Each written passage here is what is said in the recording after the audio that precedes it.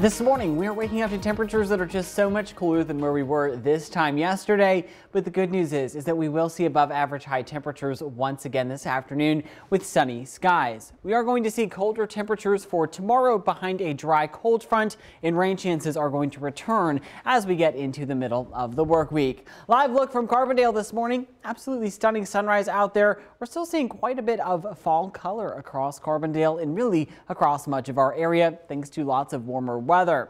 41 coming in this morning across Carbondale and 44 for Harrisburg. We have fallen to the upper 30s across Mount Vernon and Piedmont, 40 for Farmington, 46 for Union City. All of these clear skies and cooler temperatures are attributed to an area of high pressure just off to our west. As we proceed throughout the rest of the day, that area of high pressure is going to linger just to our west. 8 a.m. rolls around. A lot of us are still going to see lots and lots of sunshine. We're still seeing lots of sunshine by the time we make it to lunchtime today. I expect sunny skies to last all day. Now by 6 o'clock this evening, that high pressure should track further south as a cold front tracks from north to south across our area.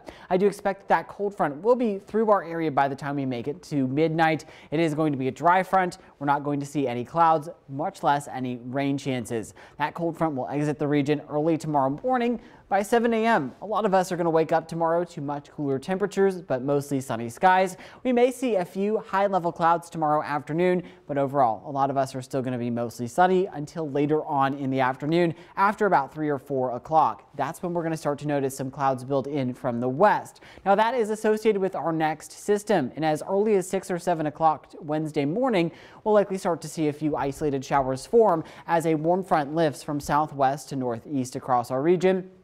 Despite that warm front moving through, we're likely going to remain dry through at least the first half of the day, but our rain chances really are going to uptick during the second half of the day as a cold front starts to enter from west to east late Wednesday night into early Thursday morning. Now, a few of those rain chances will stick around as we approach Thursday morning, and when all is said and done, we're talking about the potential for maybe a half inch to potentially maybe around an inch further towards the south. But of course, those heavier rainfall totals are really going to depend on wherever those heavier showers and thunderstorms do set set up. Again, a few isolated showers could linger through most of the day on Thursday, but then we'll likely see drying conditions during the second half of the day. We'll be dry for Friday and Saturday, but we are going to see yet another weak disturbance move in as we get into Sunday and Monday of the weekend into early next week. So certainly keep the Storm Track 3 app right there in the palm of your hand. In addition to those rain chances, you'll also be able to keep an eye on all of our temperatures today.